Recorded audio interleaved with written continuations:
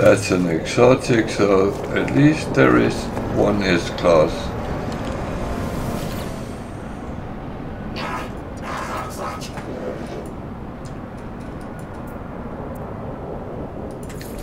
So I just said I was uh, in a S-Class draft and then I get one. That's a little bit weird.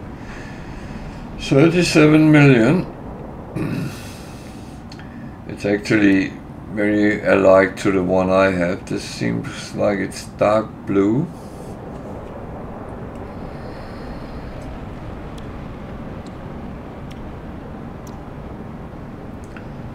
Not too bad placed hypercharge.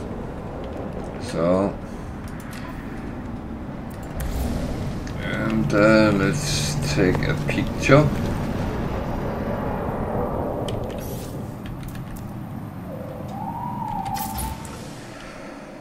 Uh, let's get it properly. It's a nice dark blue V-shaped wing. Um, exotic. The glyph address is down in the corner and uh, I'll give the coordinates when I take off from the station. It, well, I'm in my Sentinel, so that might actually be easier to, to see. Um, so, if anyone is interested, Elkupalos Galaxy, you have to be here for using the glyphs. The glyph goes directly to this planet, so uh, at least that's closer hopefully so and we are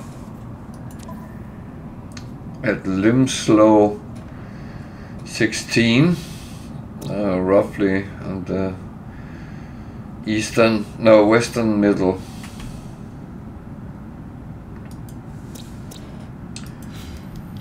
and I'm just going to pick these up then I will go and get the coordinates as well.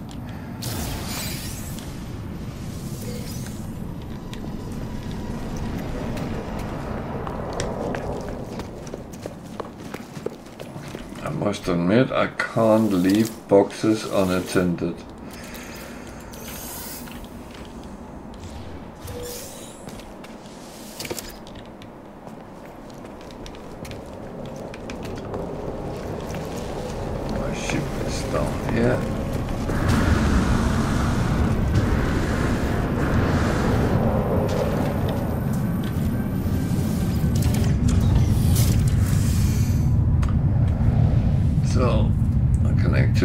The codes without taking off. That's the good thing with the Sentinel. Uh, my fighters is, is horrible to do that in. Um, the coordinates is minus 11.59, comma minus 149.62. So that is uh,